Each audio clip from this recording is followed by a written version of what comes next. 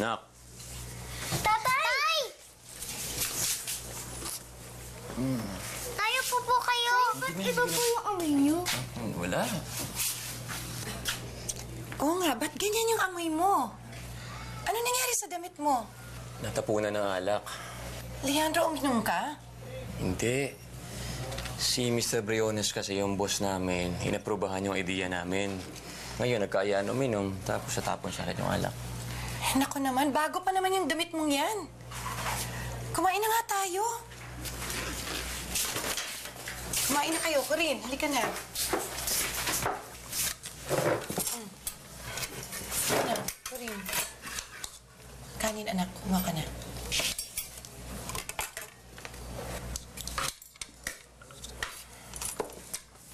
Okay lang yun. Huwag mo nang isipin yun. Ang alin? Na naman saan yung damit mo?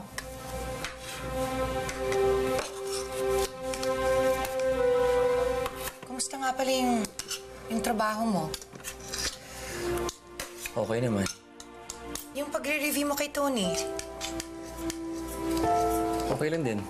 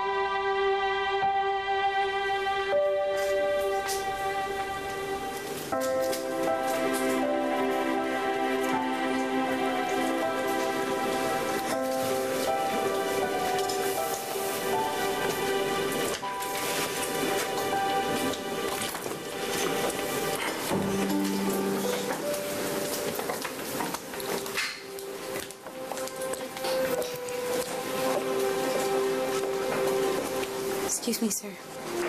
Yes. Um, stop muna natin yung special classes natin. Gusto ko mag-try mag-review mag-isa. Saka ikaw rin baka naagawan ng panahon yung pamilya mo. Salamat.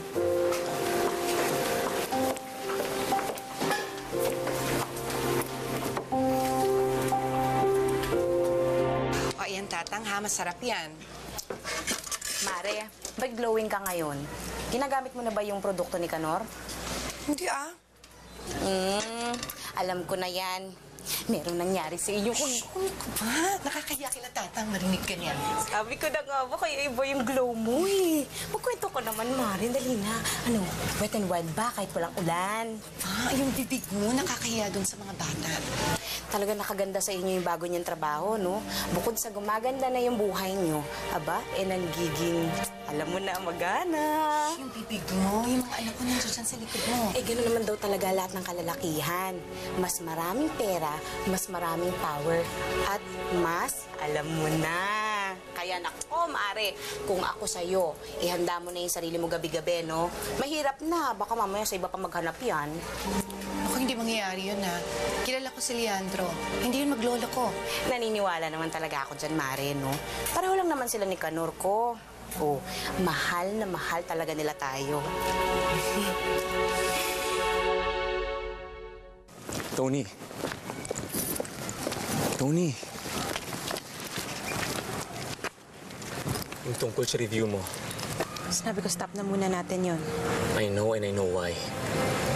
Yung nangyari kagabi, Hindi na natin kailangan pag-usapan yon. I'm sorry, hindi ko sinasadya. I know it was an accident, so wag na natin pag-usapan yon. Tapos ano, patuloy mo akong iiwasan? Tony, it's not gonna work that way. Ano gusto mong gawin ko? Pretend like it didn't happen? Hindi ko rin alam. Siguro kung tanggapin natin na may nangyaring ganun kagabi.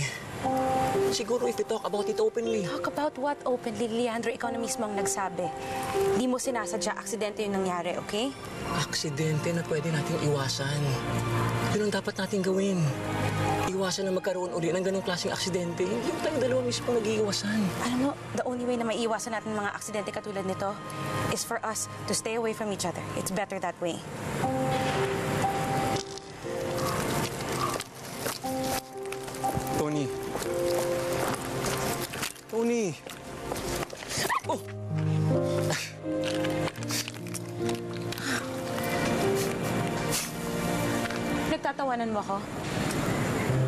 Eh, hindi ikaw yung sapatos mo. Pinagtatawanan mo yung sapatos ko, pinagtatawanan mo din ako. Iisa kami ng sapatos ko. Ah, talaga? Eh, di bali ka rin.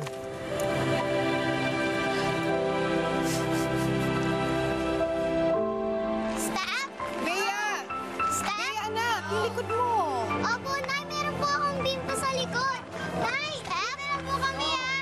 Sige, anak. Stop! Tubig ho, nay, no? Stop! Sorry Dito po. ka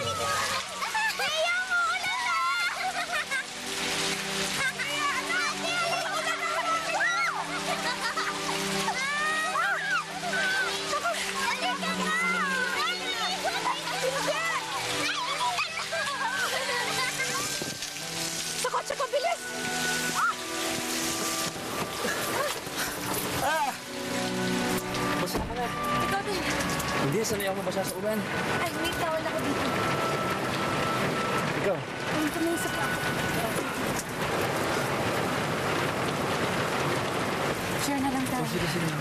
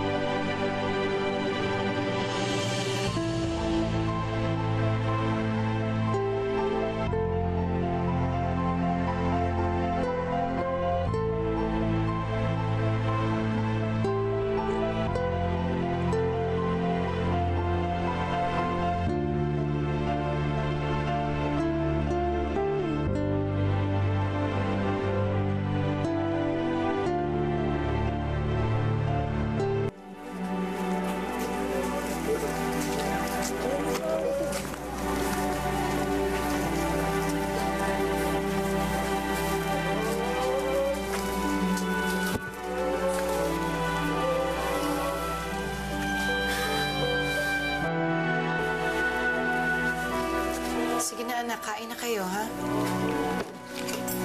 Tay! Mahal, Ah, teka lang, basa ako, basa ako. Oo, basa ako. bas... Oo nga, basa ka nga, ah. Kain ka muna? Di ako gutom. Nay, galit po ba si tatay? Bakit tayo magpakis? Ah, basa lang yun, anak. Pagod lang sa trabaho.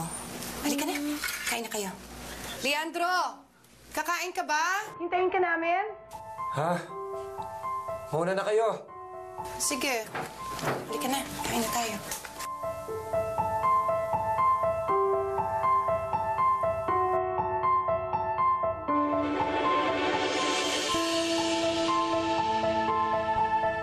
Sheila, pakigawa ito, please. Ano ba to? Oh, kay Tony to ah. Yan, naka-leave kasi siya eh. Ha? Oh, nagpe-prepare siya for the board exams. Eh, matagal pa yung board exam ah. Oh, eh, gusto niya mag-focus eh. Okay. Ang dami kasing distraction dito sa office. George, please, paki-file. Tapos paki-check kung tama yung details.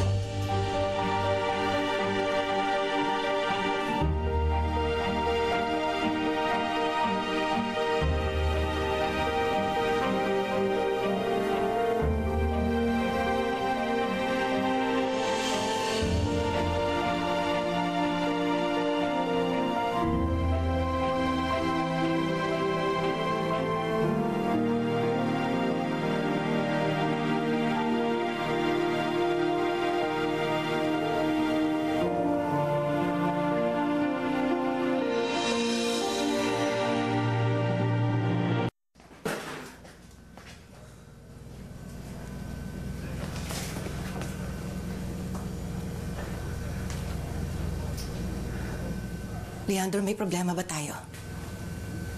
Problema? Meron ba?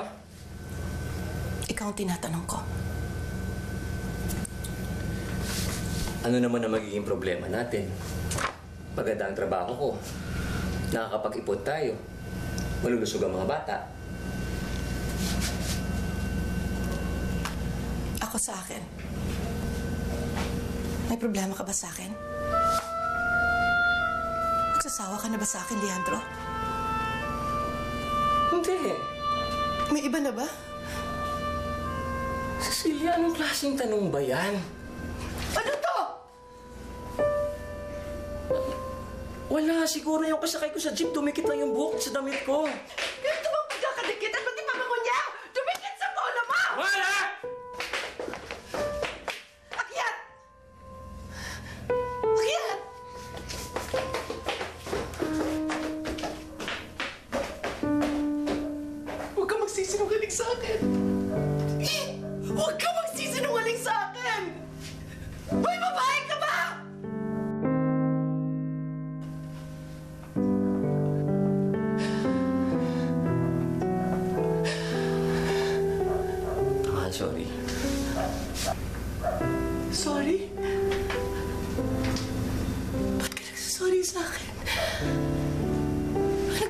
Kasalanan?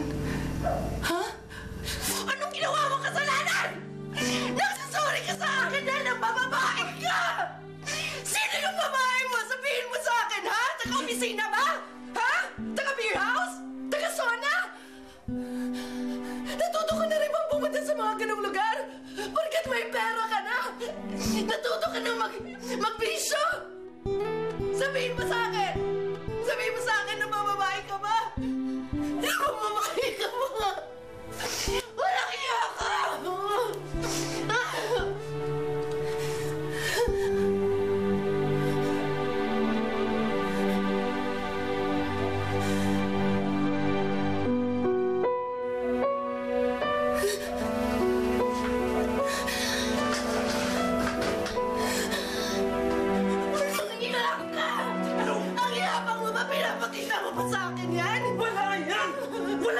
Wala yan! Kinagat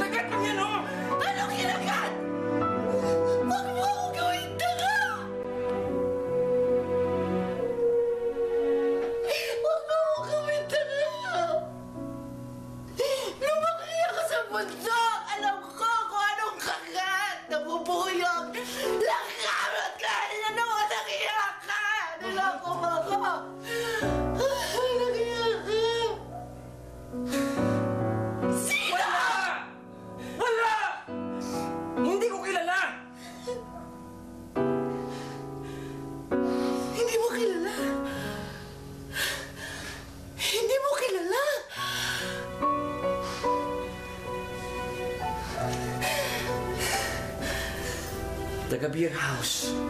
Tinable ko.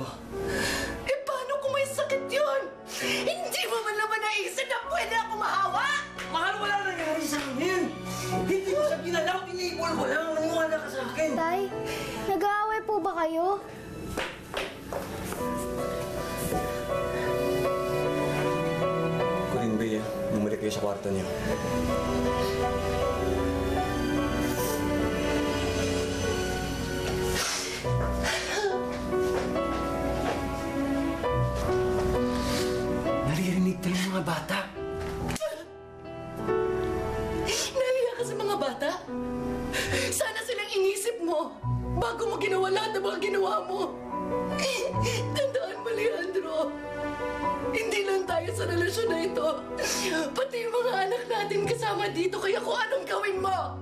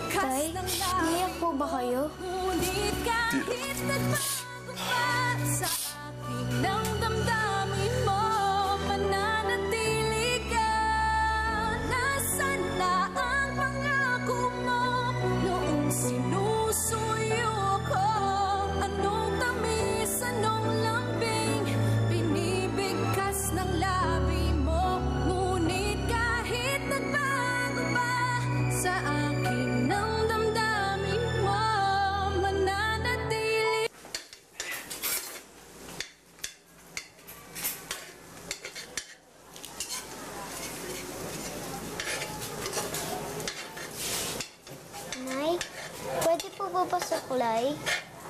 Hindi mo pa ba kaya magsuklay? Ang laki-laki mo na.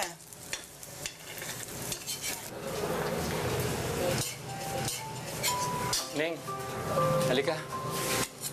Ako na magsusuklay sa'yo. Corinne, ayos mo na ba yung mga gamit mo? Opo. Mahal yung baunan. Gusto mo ako na maglagay? Corinne, Bea, kumain na kayo. Sige na, kain na.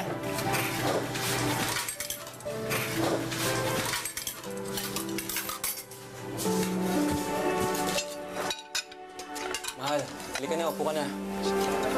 Sabayan mo na kami.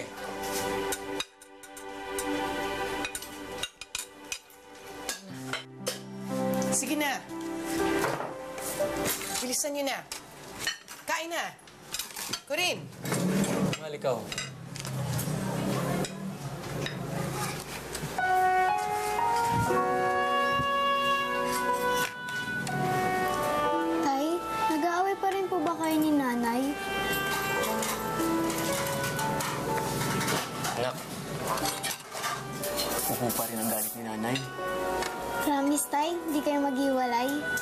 Hindi na, hindi, hindi kayo maghihiwalay. Mahal na mahal namin ang isa't isa.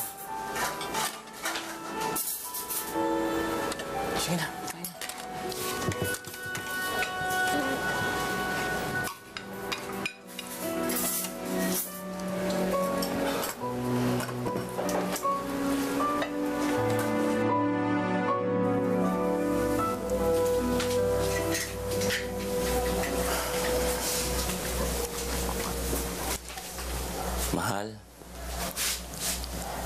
hindi mo pa rin ba ako mapapatawad?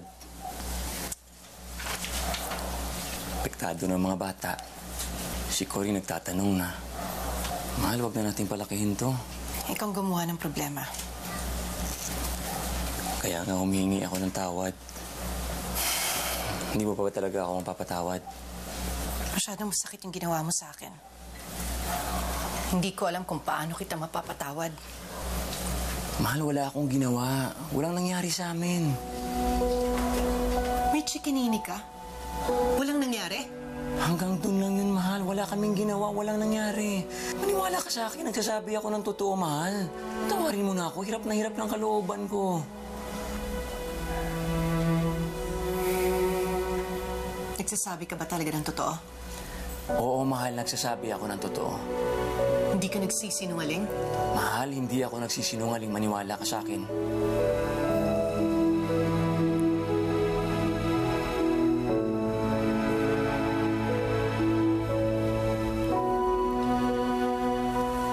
Alang-alang sa mga bata. Sige. Bibigyan kita ng isang pagkakataon. Huwag ka nang lumapit sa babaeng yon. At huwag na huwag ka nang papasok sa beer house. Promise. Kapag ginawa mo ulit yon. Kapag niloko mo ulit ako. Kapag nahuli ko nagsisinungaling ka. Sisiguraduhin ko na hindi ka na makakalapit sa akin at sa mga anak mo.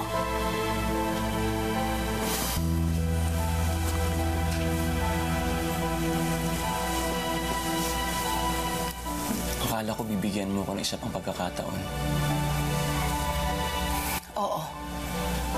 Pero hindi pa kita napapatawad.